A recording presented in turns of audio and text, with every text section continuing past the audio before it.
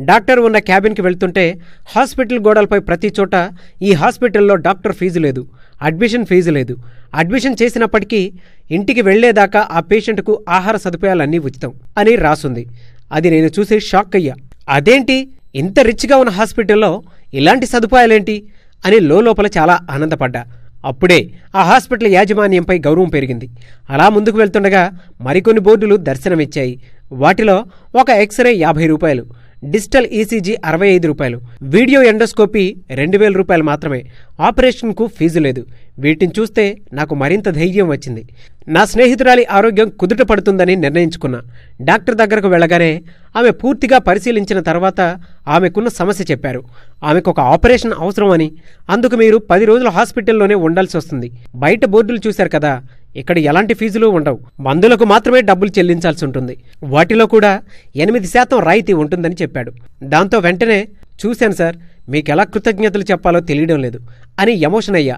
అందుకు ఆ డాక్టర్ మరేం పర్లేదు ఇది మా బాధ్యతని పూర్తి వివరాలు చెప్పి వార్డ్కి పంపించారు. చూడ్డానికి చాలా శుభ్రంగా ఉంది ఆ హాస్పిటల్. ప్రతి ఒక్కరిని ఆప్యాయంగా పలకరిస్తూ వారికి చికిత్స చేస్తున్నారు డాక్టర్స్. నిజానికి ఈ హాస్పిటల్కి రాకముందే నా స్నేహితురాల్ని మరో పెద్ద హాస్పిటల్కి తీసుకువెళ్ళా. అక్కడ కూడా ఆమెకు ఆపరేషన్ చేయాలని అందుకుగాను రెండు లక్షల యాభై వేల రూపాయలు ఖర్చు అవుతుందని చెప్పారు. ఇలా రకరకాల హాస్పిటల్స్కు తిరిగా. అప్పుడే మా పక్కనే ఉండే ఒక వ్యక్తి మా పరిస్థితి చూసి పలానా హాస్పిటల్కి వెళ్ళండి మీకు ఎలాంటి ఖర్చు ఉండదని సలహా ఇవ్వడంతో ఇక్కడికి వచ్చా. ఇక్కడ నా స్నేహితురాలి ఆపరేషన్కి అయిన ఖర్చంతో తెలుసా? కేవలం పదమూడు వేల ఐదు వందలు మాత్రమే. ఈసీజీలు స్కానింగ్ ఖర్చులు కూడా ఇందులోనే ఉన్నాయి. అతడు చెప్పేది విని నాకు చాలా ఆశ్చర్యం వేసింది.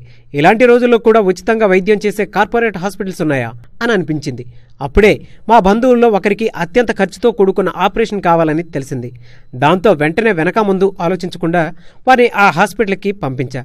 నా చుట్టుపక్కల ఎవరైనా డబ్బు లేని పరిస్థితిలో ఇబ్బంది పడితే అది కూడా అదే హాస్పిటల్కి వెళ్ళమని సలహా ఇస్తా. ఇంతకీ ఆ హాస్పిటల్ ఎక్కడుందో చెప్పలేదు కదూ? తమిళనాడులోని మధురైలో ఉంది. ఈ హాస్పిటల్ దాని పేరు Velammal medical college hospital and research institute. Velammal village Anuppanadi near Chintamani tollgate. Madurai Tamil Nadu.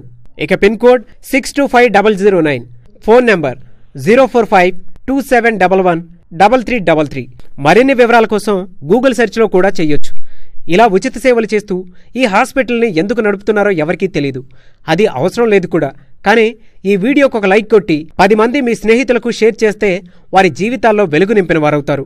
కాబట్టి ఈ వీడియోని తప్పకుండా షేర్ చేసి మీలో కూడా మానవత్వం ఉందని నిరూపించుకోండి. అంతేకాదు ఈ వీడియోపై మీ